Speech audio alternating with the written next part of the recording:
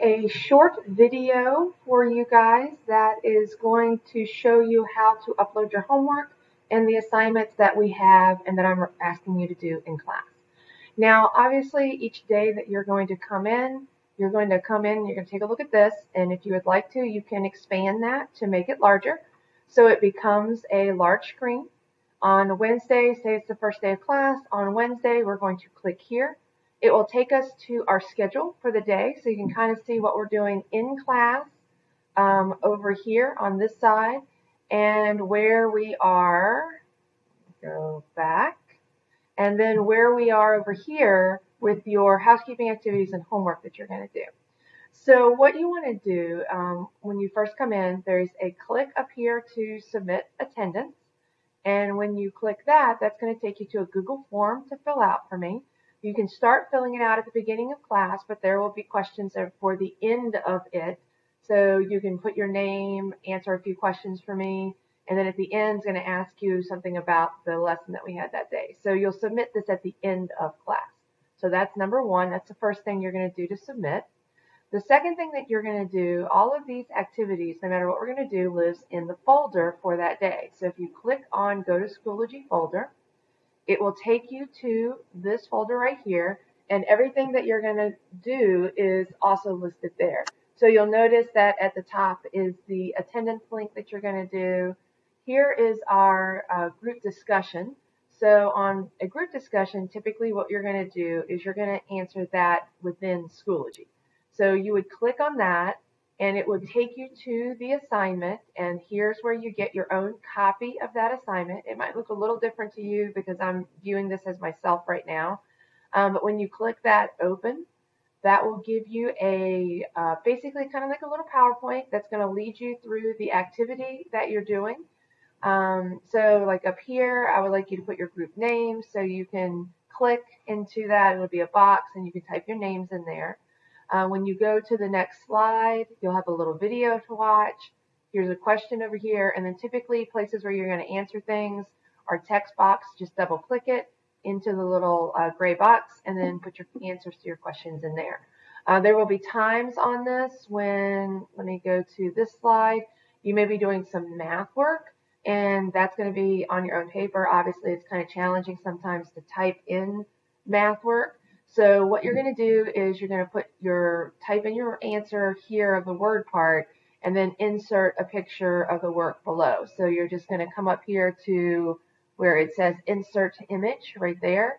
And then when you insert image um, from your computer or however you get it to your Google Drive or however you're doing that to airdrop it, then you would insert a, a small picture of your work below and just crop it, um, make it the size that's there.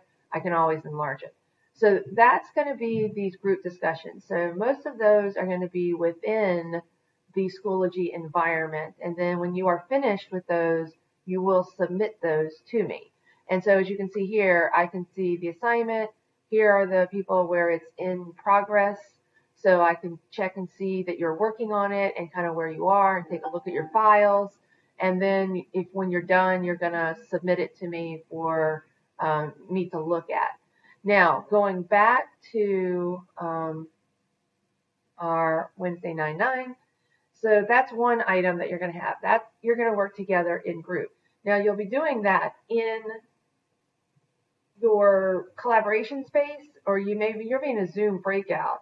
Uh, you may want to share screens with each other. You, you know, you figure out what works best for you in terms of discussing this within your group and answering it. Each person needs to turn in their own copy but you can discuss this, talk about it, decide on what answers you want to put in there. All right, then there is a video for you to watch. So you would click this, and this video will give you kind of a little summary of what is what you should have gotten out of that group activity. So once you are done with the group activity, you can then move on to the summary. And I'm going to be available in Loom. Uh, you can always request uh, help um, in the Zoom breakout and um, ask, invite the host, which would be me, to come see you, and then I can kind of check in and come answer questions through the little group work that we're doing in the classroom environment. Now, your first homework right here is going to be this check your understanding, which is at the end of that assignment. Now with this check your understanding, here's a like a the PDF of the entire set of class notes. Notice you don't really need to print these out. You don't need to waste your paper. Uh, a lot of what you're doing is going to be kind of on your own paper. It was like old school notebooks. So, because I didn't want to have students have to have the printout of these things. So you'll have your own, you can go back and view the group activity together um, at any point because it'll be in this Schoology environment. And then your homework, what you're going to do, and, and the homework is different in that if I'm asking you to do something, you're going to work them on your own paper, but you're going to turn them in. This is the one thing you're going to turn in in uh, the OneNote notebook. Uh, we're going to try a couple different things this year. That may change later on. I may see that it's easier to grade things in Schoology versus the OneNote, but we'll see how it works. So you would go to your Schoology notebook and you would scroll down to your class notebook. So uh, here I am. You only see yours. I see everybody's, but you would see your class notebook and you would go to homework. And what you would see there is a page that's already named 9-9, homework number one, class notes 1.1, check your understanding. Now, do not change the name of this page. The name has to be that same name for me to find it in order to grade each of the students as I go through it. So you never change this. Don't ever type anything up here in this little portion of it. Now, what you're going to do is you're just going to work it on your own paper. It's kind of like pretend like this is a textbook. You don't need to copy the table down. You don't, you just need to show work that is requested that would go right there. So whatever you would write there, you would just do number one on your paper and show your work for that. Make sure that since this is like calculating an average rate of change, you're going to show a difference quotient with numbers in them that you've pulled from the table and a final answer with units. And so that is something that you would just write on your own paper. When you are done, you will take your phone and take a picture and make sure that you take a picture straight above your page and that it includes the entire page of homework. And then what you're basically going to do is you're going to click up here. And if you don't have room to click up here, you may want to, you can move this little box around. So you can move the box so that you have a space and it needs to be above the box because I don't have to scroll down. So this is where you're going to just train yourself to do.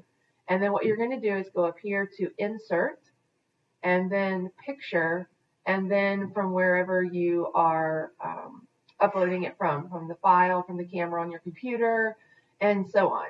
And so you'll upload it right there. Homework needs to be on your own paper, in your own handwriting, and you need to sign your name at the top as pledged as your own homework. So that's the one thing that you're going to be turning in in OneNote after we get into the year a little bit, we'll see how the Schoology works versus OneNote, and I may make some changes to this, but that's how we're going to start the year.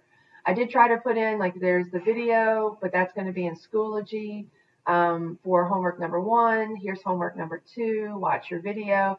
So these are, you know, kind of giving you kind of a heads up. I may go ahead and take the ones where you don't have submissions out um, for this, the homework number one, watch the video. I don't really need it here, but uh, you know, I'm trying to give you multiple ways to see where you're going to do your homework.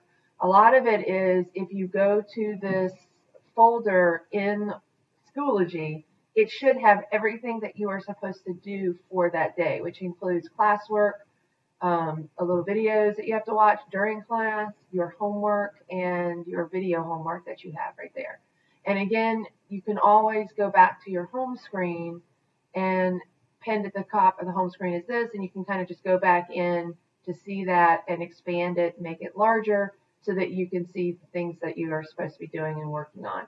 Um, this housekeeping stuff, this is obviously this video is going to be living in the how to uh, page that's there. So just to again show you where that is, that's the first file uh, well, actually, you can click right here. and See where it has that little question mark? In this classroom where you have all of the links that you can use, if you just click there, then it will come up to where all of the videos are going to be for how to do stuff.